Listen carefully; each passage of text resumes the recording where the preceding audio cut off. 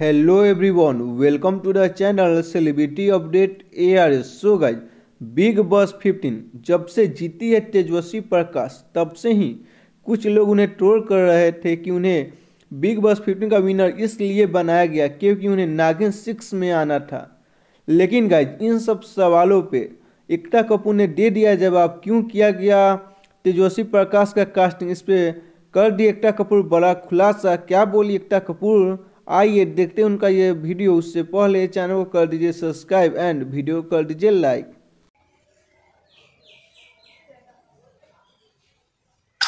So more than auditioning I basically you know when it jam there so much work in the industry and there are so many actors and the ones you want are busy doing web shows और movies And then there is a lot of talent you see. You want to like get new faces also, but there is always that thing that you know they don't have maybe sometimes personality, or maybe they're too young or early in the day to play something as vivacious as an army. You know how it is.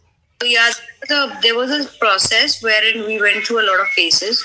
I mean, it'll be a little immodest for me to say I auditioned 55 faces and rejected 55 faces, but there was that spark that we wanted and we couldn't find it till we found Tejaswini.